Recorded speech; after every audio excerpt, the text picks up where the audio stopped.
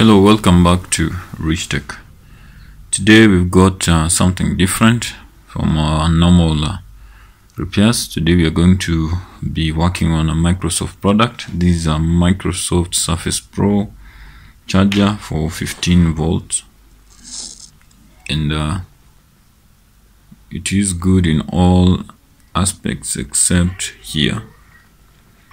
It seems uh, that Microsoft has uh, inherited this uh, problem from Apple where we have wires or cables getting damaged at the junction where the charger meets the cable. So this is a fairly common problem in Apple products, but now we've seen it in uh, also Windows products or Microsoft products. So I'm going to attempt to repair this.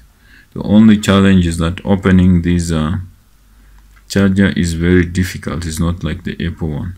So these are new to me too, and I hope uh, we are going to learn together. I'm also hoping that I'll not be required to open it, that uh, I can always uh, repair it without opening it up. I want to try a method that I know.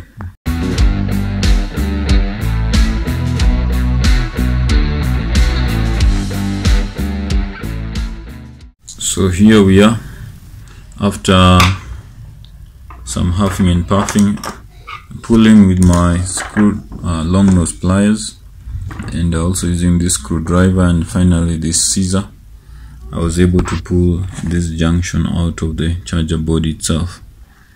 So I want to see if I can slide this junction out of this place so that I can uh, get the wires and solder them together now this is completely out of the charger. You can see the hole in there.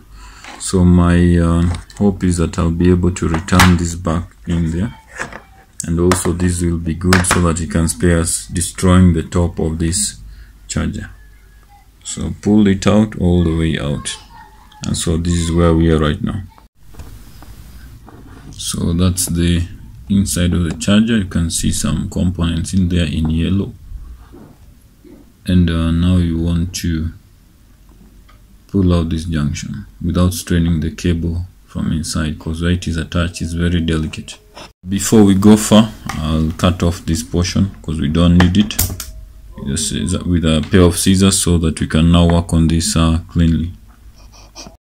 Now using a razor I've cut off from behind this uh, junction I've cut off the outer insulation of this cable the outer insulation which i'm talking about is this. I'm cutting all round so that the wires inside can be exposed as in this case. It's difficult to see but uh, if you focus on uh, that end you can see the wires are showing. The aim here is that i want this insulation the outer insulation to come out with this. When i pull this i want to pull it so that the wires remain attached where they are attached and I can pull this junction out without that uh, those wires. So with my pair of pliers I've been able to hold the wires and then pull the junction out on its own. And here we are. These are the result we want to have the wires intact. None of them is uh, destroyed. You can see where I cut off uh, the insulation and now these wires are ready to be soldered back to our cable. And now I want to prepare this junction so that I can thread this back in here as in a Mac as a MacBook uh, charger junction. I also do this with uh, MagSafe chargers. I thread this back in so that uh, it can come out through this other side and I solder it back to these wires. So I want to prepare this and I'll use my uh, I think I'll use my drill to go in through here or unless this can come out easily. Let's see. Let's see if this can come out easily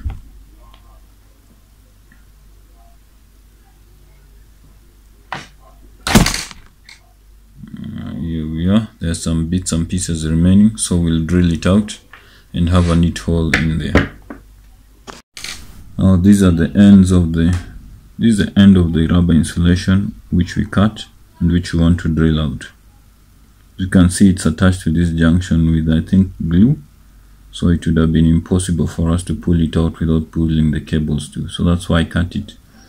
And uh, was careful not to cut the wires and also to have only this come out. So I want to drill this all through and hopefully remove the remaining wires plus the uh, that insulation which is in there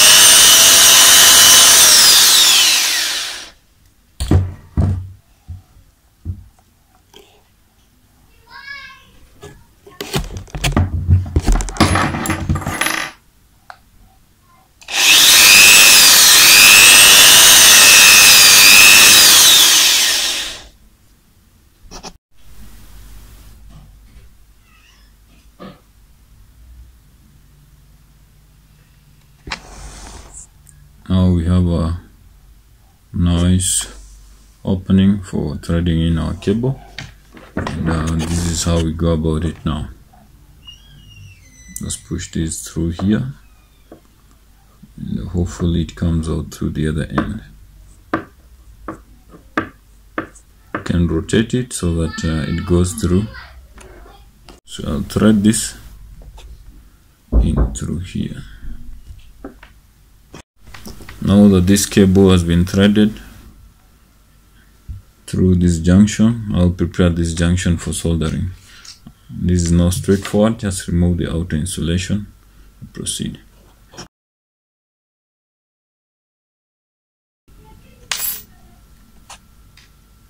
Here we are. Expose the wires inside and uh, get them ready for soldering. I'll prepare this other end next to the charger too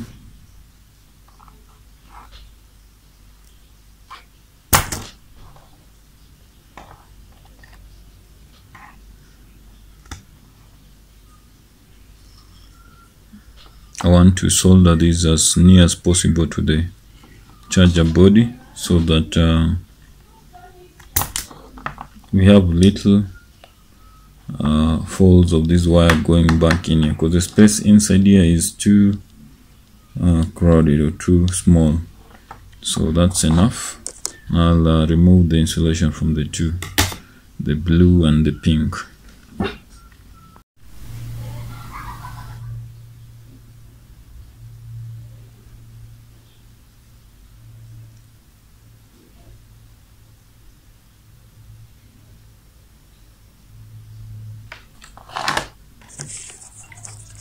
apply solder to both uh, portions of the both parts of the cable the charger size side and the cable side.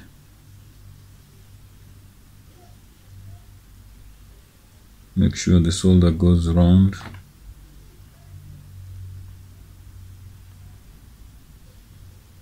Each wire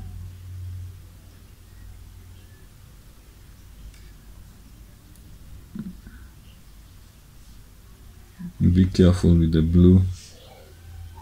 Why it's very delicate. It does not uh, hold uh, solder very easily. But here we are.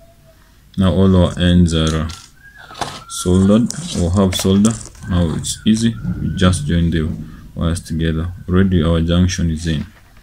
So let's uh, solder this together let's start with the bare wire here.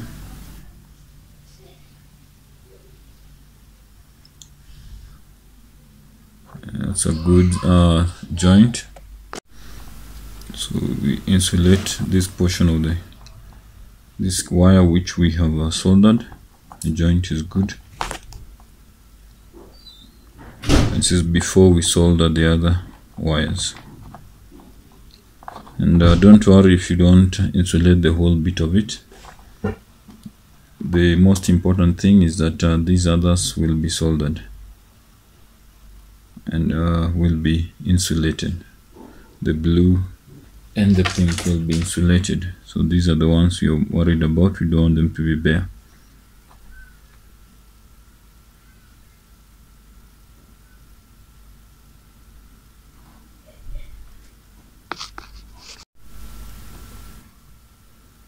it's a blue wire we've also soldered it and it's uh, sturdy enough. Let's see from this other side. Uh, it appears to be strong enough.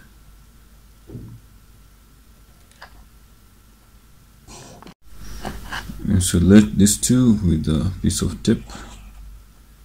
Make sure that this is covered. Here's the last wire soldered and now I'm insulating it.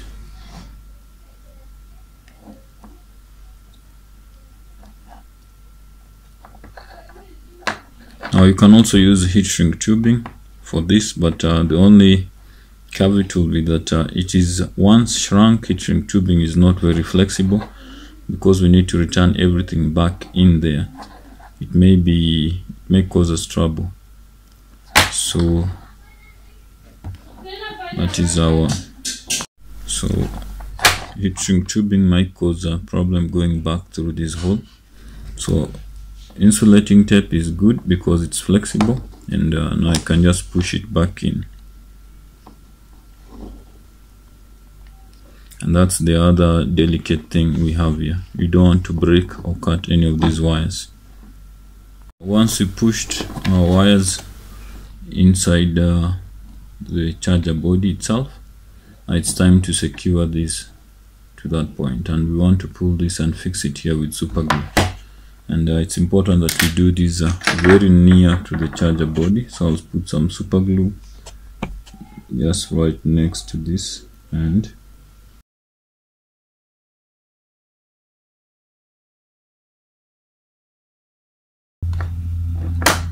there it is now the joint is stuck at that point and now we can just push this back in.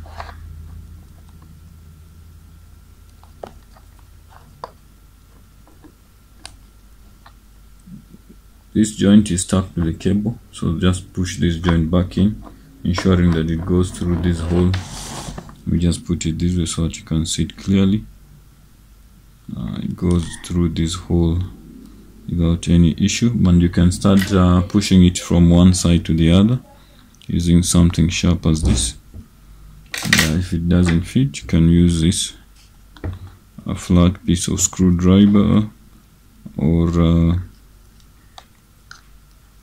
let's see. The screwdriver will do. We can use our scissor but we need to be very careful I'm using the scissor because its tip is pointed and it can be able to push this back nicely. But we need to be very careful so that we don't cut any wires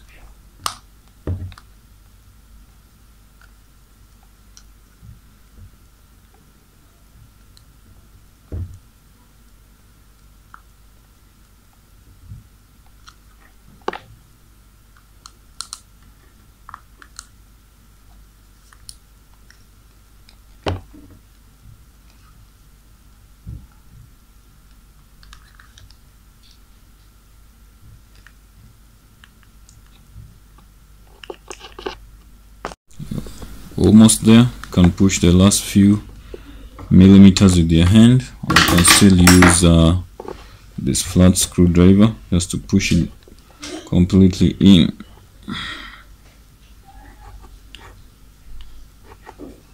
Now to ensure that this remains in there permanently we could also add a drop of glue but it's not really necessary.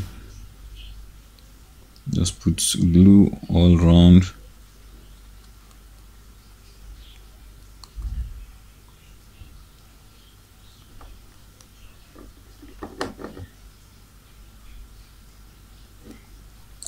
then push this back in place.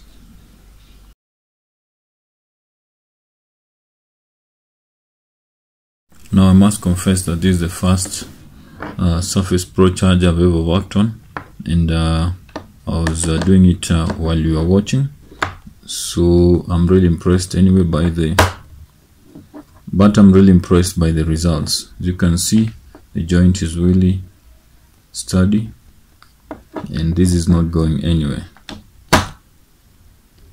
And uh, you can see it's also neat.